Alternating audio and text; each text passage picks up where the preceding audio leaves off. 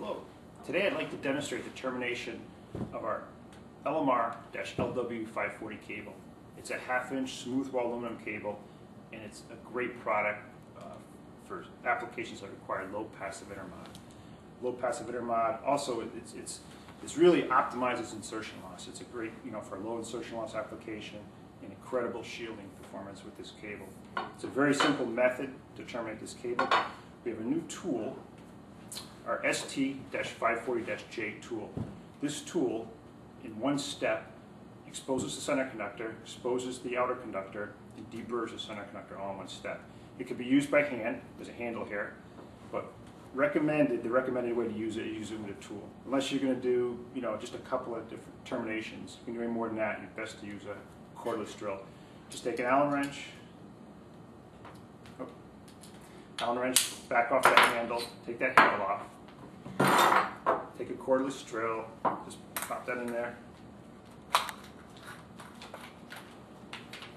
So, in this smooth wall cable too, I'd also like to point out, you know, just getting started, as with any of our LMR cables, great way to get started is make a nice, clean, square cut. And if you don't already have that, this tool, this CCT 01 tool, cutting tool, is a great way to get that nice, square, clean cut. You want to get maybe a couple inches back from the end of the cable. You apply some downward force on the blade, and you spin the blade around the cable. And this has a, an aluminum tube outer conductor, so it just takes a little bit to get through that tube there. But uh, we quickly scribe right through that. And what you're going to end up with is just a nice, a nice square, clean cut on the cable. At this point, you want to put just a little bit of a bend in the cable, something to grab a hold of. take your drill, place it over the cable, and you can let the drill do the work, and you're going to feel the drill speed up when it's done. It's going to spin freely, so you don't have to worry about going too far. You just let the tool do the work until it spins freely and you're done.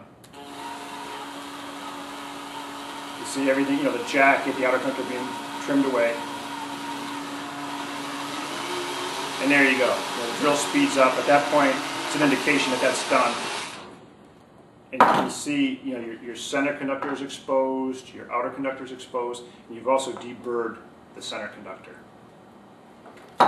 At this point, take your connector. The connector has, is composed of three parts. It's the, the back, back nut, which has an O-ring inside to prevent moisture ingress. There's a little flare bushing and there's the front end, which is the interface. Now with this cable, regardless of the type of connector you're using, whatever interface you're using, this back nut and this flare bushing are going to remain the same. So the termination method is, is identical no matter what connector you're using on this cable. You take this uh, back nut with the O-ring in it, place it over the cable. It's going to be a snug fit against that O-ring there. You take this flare bushing, just place it over the cable as, as such, and it's going to bottom out on the jacket. Give it a little push, going to bottom on the jacket, and you, you're going to want you're going to, that that foam core is going to be just about flush with the end of this bushing. It may protrude just a little bit, just slightly. Then there's just a little bit of film here on this outer conductor. Take off. I don't think it would interfere, but uh,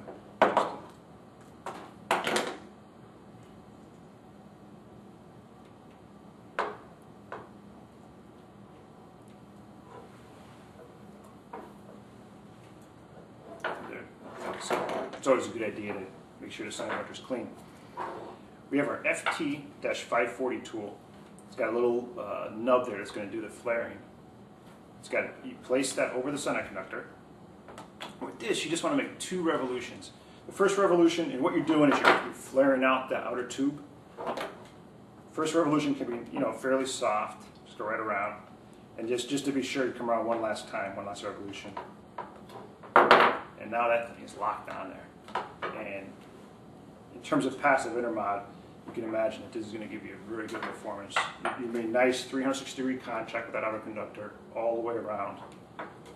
You take your interface at this point, the, interface, the pin is a, a gold-plated beryllium copper spring finger pin, just like many of our EZ style connectors. Just snap that onto the center conductor. So bring that back nut up and you, you just torque the four and a half sections together. There are flats on the front of the connector, there are flats on the back. You torque that until that O-ring basically disappears, until you see metal-to-metal contact, and you're done. You got the O-ring in the back there, and you're all set. Thanks a lot.